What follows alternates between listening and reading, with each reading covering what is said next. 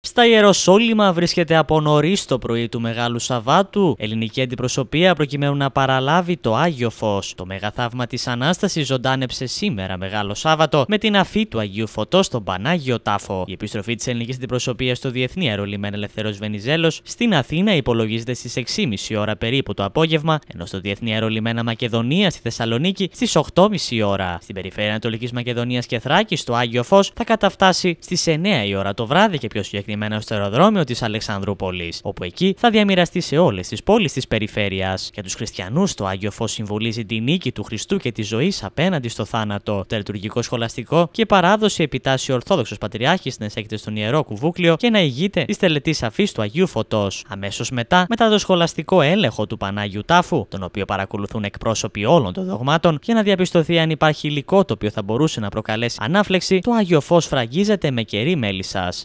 Στο ναό της Αναστάσεως που βρίσκεται στα Ιεροσόλυμα, τα προσκυνήματα είναι κατανεμημένα στα χριστιανικά δόγματα, ενώ στον Πανάγιο Τάφο ο Ελληνοορθόδοξος Πατριάρχης είναι αυτός που εισέχεται για να τελέσει την αφή του φωτός. Οι πιστοί τέλος το περιγράφουν εμφανίζεται σαν λευκογάλανες οριζόντιες αστραπές, περιστρεφόμενες ή κινούμενες φλόγες. Στο ναό δεν υπάρχει ηλεκτρικό ρεύμα και τετροφωτισμός. Μαρτυρίες αναφέρουν τέλος ότι πολλές λαμπάδες των πιστών και κανδύλες ανάβουν μόνες τους, ενώ η φλόγα δεν τους καίει τα πρώτα λεπτά.